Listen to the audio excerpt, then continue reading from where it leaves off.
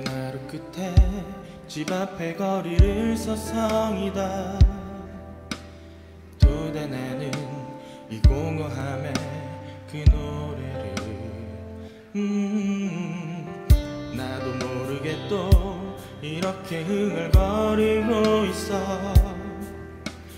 아마 너를 애타게 너를 부르듯이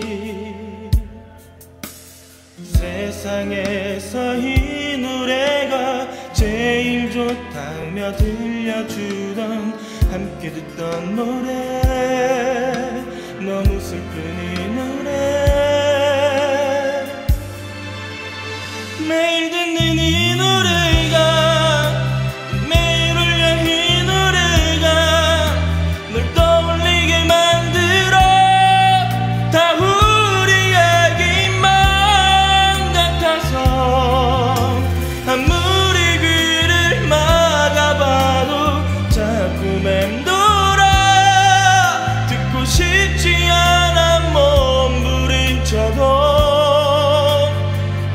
듣는 노래.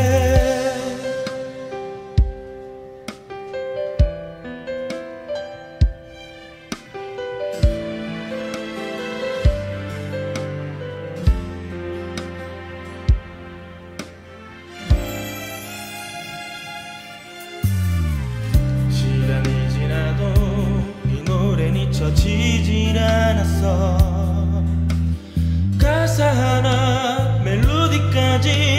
선명해서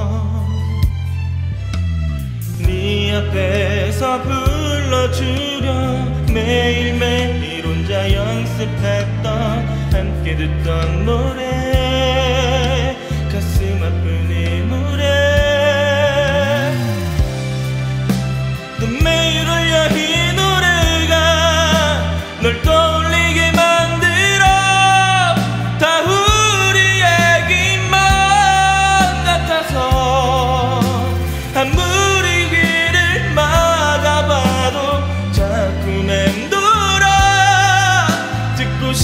yeah.